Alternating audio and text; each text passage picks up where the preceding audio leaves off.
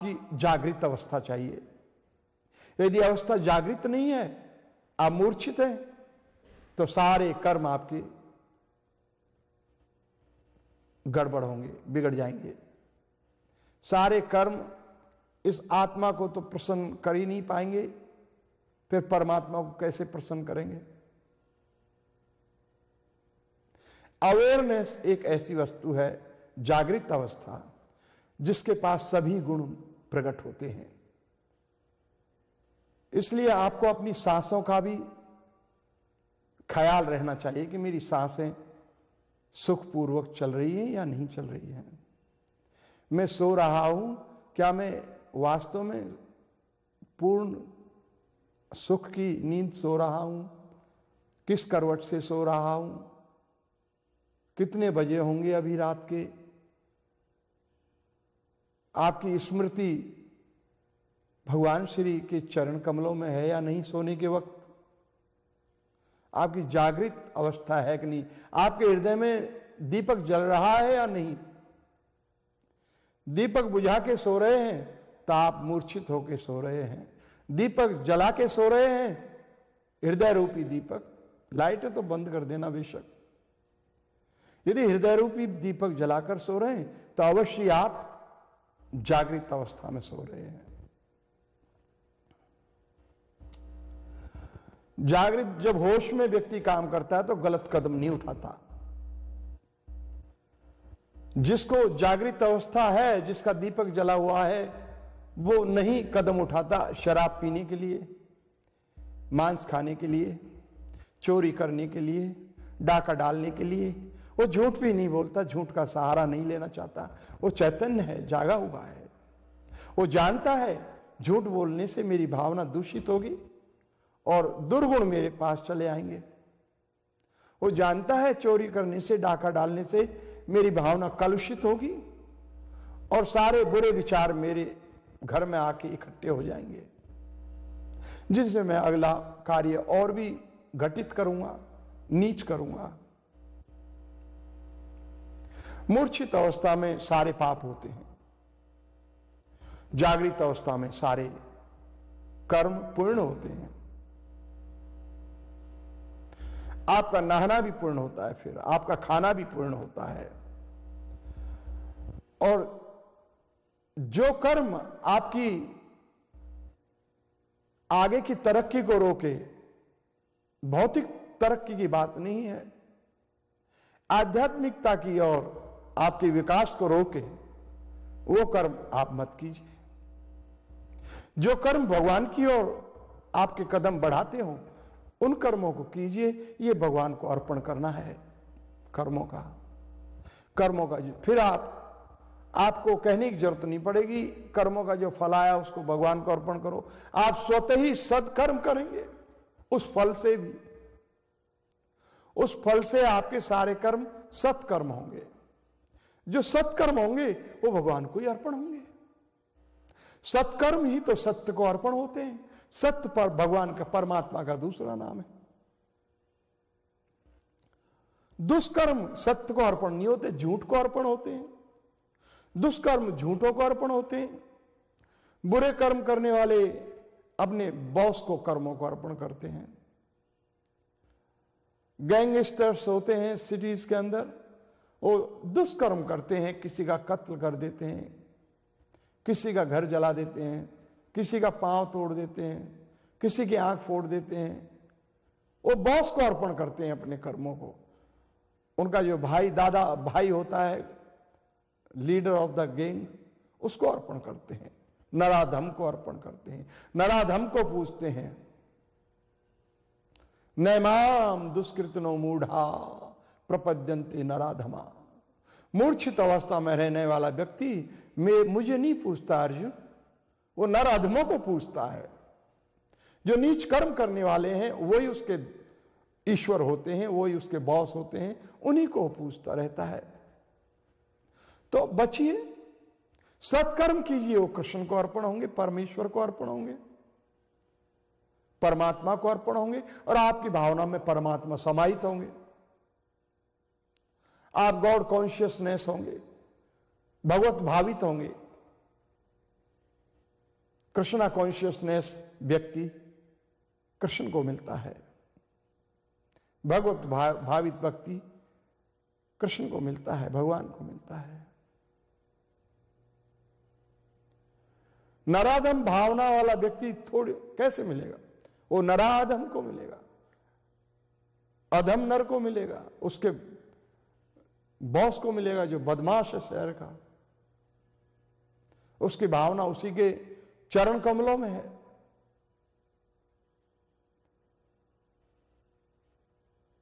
चरण कमल तो नहीं कहना चाहिए कहना चाहिए धतूरा चरण कहना चाहिए। धतूरा चरण, कमल चरण तो भगवान के ही होते हैं। तो उसके धतूरा चरण होते हैं जो असुर है, राक्षस है। पॉइजनिश चरण जिसको कहते हैं। धतूरे का फूल क्या है? पॉइजन है। फल भी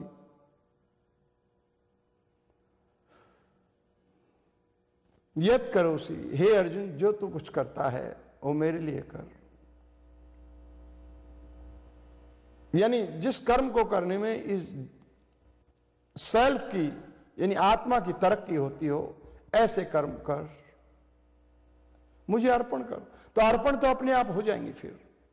जो व्यक्ति सत्कर्म करेगा, जो अपनी आध्यात्मिक तरक्की के लिए पचेगा, उठते, बैठते, खाते, पीते, नाते, बाज़ार जाते, किसी से बात करते, वो व्यक्ति जो बात भी करेगा तो भगवान के प्रति करेगा, सत्यता की बातें करेगा, झूठे संसार के टॉपिक्स को पॉलिटिशियंस के टॉपिक्स को टॉपिक्स को लेकर बात नहीं करेगा। वो भगवान की भावना में भरा हुआ व्यक्ति सदैव भगवत भावित बात करेगा। उसको ग्लोरीफाई करेगा। ईश्वर की जय जय करेगा। वो कर्म करेगा, वो सत्य कर्म होंगे। और जो कर्म उसकी भावना को शुद्ध करने के लिए अवरोधन पैदा नहीं करते हो, ऐसे कर्म करेगा। जो ऐसे कर्मों का फल आएगा तो वो तो भगवान को ही अर्पण हो गया, सत्य को ही अर्पण हो गया। सत्कर्मों का फल सत्य को ही अर्पण हो जाता है। लेकिन सत्कर्म होते अवेयर अवस्था में, अवेयरनेस में, जागृत अवस्था में। तो आप होश में जीवन जिए तो आप सत्कर्म करेंगे, बुरे कर्म नहीं करेंगे। फिर कैसे किसी गाय को काट पीट के खाओगे? कैसे किसी जीव को सताओगे? नहीं सता सकते। आपको ज्ञान होता है पूरी तरह कि ये भी मेरी तरह आत्मा है। इनको भी, इनके हृदय में भी वही क्रियाएँ होती हैं जो मेरे हृदय में होती हैं। इनको भी दुख होता है। इनके भी आँसू आते हैं। इनको भी भय लगता है। ये भी बच्चे पैदा करते हैं, उनको पालते हैं, बड़ा करते हैं। ये भी सोते हैं, जगते हैं मेरी तरह। इनको भी भूख प्यास लगती है मेरी तरह। मैं क्यों इन जीवों को सताऊं? उस, ये होश में होता है सारा काम। होश में दया, क्षमा, सत्य सभी आपके हृदय में प्रकट होती हैं। सारे सद्गुण आपके हृदय में प्रकट होते हैं। इनकी कुंजी है जागृत अवस्था, होश में। आपको हर चीज़ का, हर चीज़ होश में करनी चाहिए। खाना भी होश में, जीना भी होश में चाहिए। जीवन को जीना होश में चाहिए। अपनी दफ्तर में दुकान पे जाते हैं, आप, आपकी चाल ढाल भी होश में होनी चाहिए। कहाँ चल रहे हैं, कैसे चल रहे हैं, आपको पूरा पता रहना चाहिए इस बात का। किससे बात कर रहे हैं, कैसी बात कर रहे हैं, क्या लूटने खसोटने की बात तो नहीं कर रहे हैं किसी से? कोई ग्राहक आपके पास आया, क्या उसे प्रेम से बात कर रहे हैं या उसको ठग, ठगी की बात कर रहे हैं उसके साथ? नहीं। सत्य का सहारा लेकर जीवन जीने वाला सत्य को खुश कर लेता है। जो सत्य के साथ चलता है, वो जागृत है। या कहिए कि जागृत प्राणी झूठ की ओर कदम नहीं बढ़ाता, सत्य की ओर कदम बढ़ाता है। तो होश में आके खान पान कीजिए, होश में आके प्रेम कीजिए। प्रेम भी होश में ही होता है, बेहोशी में नहीं होता। बेहोशी में लोग लिख देते हैं, टेलीफोन से मैसेज देते रहते हैं I love you I love you उठा के वो रेडीमेड रखा रहता है एक सेंटेंस उसको बस क्लिक करके रख देते हैं I love you I miss you ये होश में नहीं है। अगर होश आपको होगा तो आप इसके लिखने की भी आवश्यकता नहीं समझेंगे। क्योंकि जो व्यक्ति प्रेम तो आपका स्वभाव है, प्रेम तो आत्मा का स्वभाव है, आत्मा का स्वभाव नफरत नहीं है। जब आप प्रेम करते ही हैं, प्रेम जब आपका स्वभाव ही है तो आप एक व्यक्ति को या दो व्यक्ति को या माता पिताओं को प्रेम थोड़ी करते हैं, या अपनी पत्नी को ही प्रेम थोड़ी करते हैं, या अपने बच्चों को ही प्रेम थोड़ी करते हैं। आप तो प्रेम करते हैं। प्रेम आपकी नेचर है, आपकी ओरिजिनल पोजीशन है, आप प्रेम स्वरूपा है, आप सत्य स्वरूपा है, आप ज्ञान स्वरूपा है, आप क्षमा स्वरूपा हैं। चार स्वरूप है आपके, आत्मा के। प्रेम आपका स्वभाव है। तो प्रेम आपका स्वभाव है तो कैसे आप एक को और दो को प्रेम करेंगे? आप तो आपका तो आप प्रेम बरसा रहे होंगे। जय इंद्र महाराज, बारिश बरसाते हैं, ठीक वैसे ही। सामने चाहे पेड़ हो, पौधे हो, पशु हो, पक्षी हो, जन मानव हो, देवी देवता हो, या परमेश्वर हो, ईश्वर हो प्रेम आपका स्वभाव है। और ये ये प्रेम नाम वस्तु जागृत अवस्था में पहचानी जाती है। यो कहिए कि जागृत अवस्था में आप हर वस्तु को पहचान जाते हैं।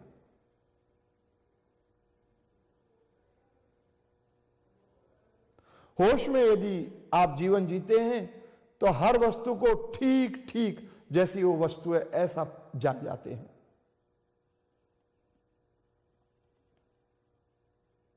बेहोशी में आदमी थोड़ी समझ सकता है इन चीज़ों को। बेहोशी में उसको मालूम नहीं है कि सिगार, सिगरेट मेरे कैंसर कर सकती है। मेरे मुँह से बदबू आती है। दूसरे बच्चों को, पड़ोसियों को और चलते फिरते रोड पर भी जो चल, उनको भी तकलीफ़ होती है धुआँ से। आप धुआँ फेंकते जा रहे हैं, पुरानी रेलों की तरह। पीछे से आने वाले लोगों को वो धुआँ रिसीव होती है। वो अपने नाक सिका के आगे हाथ को ऐसे करते हैं। फिर भी आपको होश नहीं है कि किसी व्यक्ति को मैंने तकलीफ़ दी। मूर्छा में जीवन जीते हैं। जो होश आपको होगा तो आप किसी का बद नहीं करेंगे, किसी पशु का, पक्षी का। आप जानते हैं सुंदर पक्षी हैं, सुंदर पशु हैं, सुंदर हिरण हैं। सुंदर गौ माताएँ हैं। ये हमको लाभ देती हैं।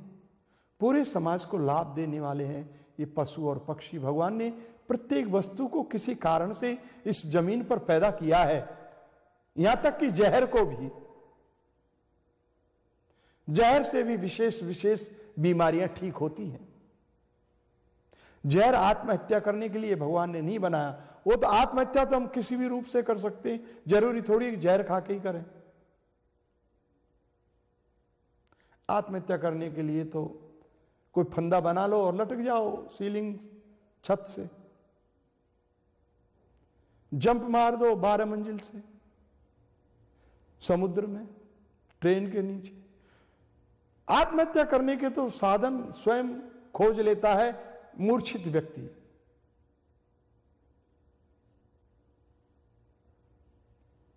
जागृत अवस्था में रहने वाला आत्महत्या नहीं करता। जागृत रहने वाला व्यक्ति लंबी आयु जीता है और जीना चाहता है, क्योंकि जितनी लंबी आयु मनुष्य जिएगा, उतनी संसार के और परमात्मा के, अपने आप के अनुभव से ज़्यादा होते हैं। जो व्यक्ति छोटी आयु मर जाते हैं, उनको फिर उसी स्तर से जन्म लेना पड़ता है, जिस स्तर पर उन्होंने शरीर को त्यागा, जिस भावना से जिस भावना में उन्होंने शरीर को त्यागा। लेकिन जिनकी भावना ज़्यादा लंबी उम्र पाकर के निखार पर आई है, कुछ रियलाइजेशन और अधिक हुए हैं, कुछ अनुभव हुए हैं कि क्या क्या सत्य है, क्या असत्य है। और ज़्यादा उम्र वाला सत्य की ओर आकर्षित होने लगता है, इसमें संदेह नहीं है। जवान अवस्था अंधी होती है, आदमी मूर्छा में जीता है, इसमें भी संदेह नहीं है। अक्सर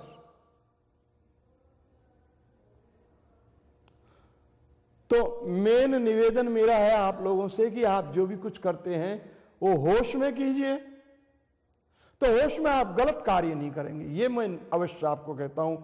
आपको होश होगा तो आप चोरी नहीं करेंगे, डाका नहीं डालेंगे। झूठ नहीं बोलेंगे, बेईमानी नहीं करेंगे, रिश्वत नहीं लेंगे। आपको पता होगा कि इसका परिणाम गलत आता है।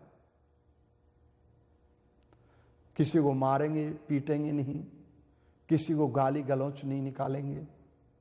होश में होंगे तो। फिर क्यों आप सुरा और सुंदरियों के चक्कर में पड़ेंगे? अपनी पत्नी को सजा धजा के उनके साथ रहेंगे। अपने बच्चों से प्रेम करते हैं, ऐसा पड़ोसी के बच्चों से भी प्रेम करेंगे। प्रेम आपका स्वभाव है। लेकिन ये सब होश में होता है। बेहोशी में नहीं। बेहोश होके तो लोग वैश्याओं के पास जाते हैं और उनसे भी कहते हैं आई लव यू बेहोश होके विस्की की बोतल को किस करते हैं और कहते हैं आई लव यू विस्की। चार आदमी हँसते हैं उसके साथ वाले कि हा हा, क्या प्रेमी है विस्की का। ये प्रेम प्रेम नहीं, ये मूर्छित अवस्था है। प्रेम होगा तब तो सभी से आपका प्रेम हुआ। प्रेम आपका स्वभाव है। होश आपका स्वभाव है। आप भूल गए हैं होश को, इसलिए थोड़ी मूर्छित अवस्था है, मूर्छित अवस्था के कारण हम सोच नहीं पाते क्या ठीक है, क्या बुरा है। इसलिए हम कुछ भी करने शुरू कर देते हैं।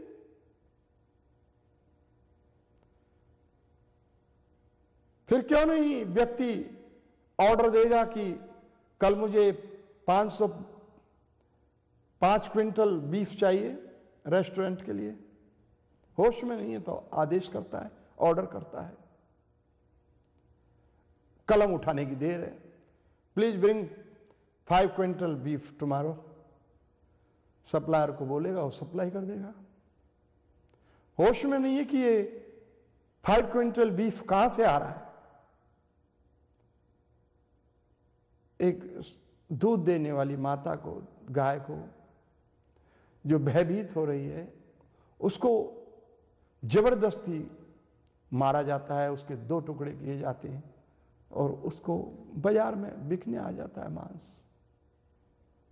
ये होश, ये मूर्छित अवस्था में, मूर्छित अवस्था में जब जब सोसाइटी रहेगी, तब तक तमोगुण में रहेगी। और आज हालत ऐसी ही है समाज की।